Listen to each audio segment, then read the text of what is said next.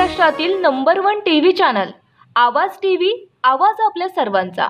यंदाही कोरोनानंतर स्थानिक भारतरत्न डॉक्टर बाबासाहेब आंबेडकर नगरपालिकेच्या मैदानावर फटाक्यांची दुकाने थाटावत आली असून प्रत्येक दुकानात दहा फूट अंतर ठेवण्यात आले असून पाण्याचे ड्रम व बादली डस्टबिन ठेवण्यात आले आहेत. कोरोना महामारी आणि महागाईने सर्वसामान्य नागरिकांचे कंबरडे मोडले आहे महागाईचा परिणाम सर्वच भागात दिसून येत आहे. पेट्रोल डिझेल दरही गगनाला भिडू लागले आहेत. या महागाईचे सर्वात मोठे कारण आहे कारण का सर्व काही वाहतुकीसाठी वापरावी लागते आणि डिझेल पेट्रोलचे भाव वाढले तर सजिकत वाहनांचे भाडे जास्त लागले. त्यामुळे प्रत्येक वस्तू भाव दहा ते वीस टक्क्यांनी वाढले आहेत. अशा प्रकारे फटाक्यांची दरात सुद्धा वीस टक्क्यांनी वाढ झाली आहे. नमस्कार. मैं रुपेश पुरवार पुरवार फटाका केंद्र का संचालक।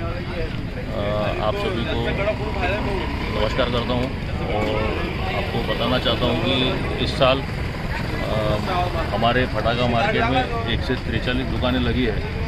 और इसके साथ ही मैं शासन का भी बहुत बहुत शुक्रगुजार हूँ कि इसके लिए शासन ने हमको परमिशन दी है और हम शासन का पूरा तहे दिल से स्वागत करते हैं। शासन के पूरे नियमों को पालन करते हुए हमने इस साल पटाखे की दुकानें लगाई है। हमारे मार्केट में तिरचालीस दुकानें होने के बावजूद हर दुकान के बीच में दस फुट का गैप रखा गया है। और हर दुकानदार ने अपनी दुकान के सामने पानी की टंकी एवं बकेट एवं डस्टबिन, इसकी व्यवस्था खुद की है। पिछले साल कोरोना काल होने के बाद भी यहाँ पर काफ़ी सारी दिक्कतों का हम लोगों को सामना करना पड़ा था, जिसे देखते हुए हम लोगों ने हर चीज़ हमारे लिए और सभी के लिए कोई तकलीफ़ ना हो, ऐसे हमने कदम उठाए हैं। और आवाज़ टीव्हीसाठी मोहम्मद फारूक खामगाव, बुलढाणा.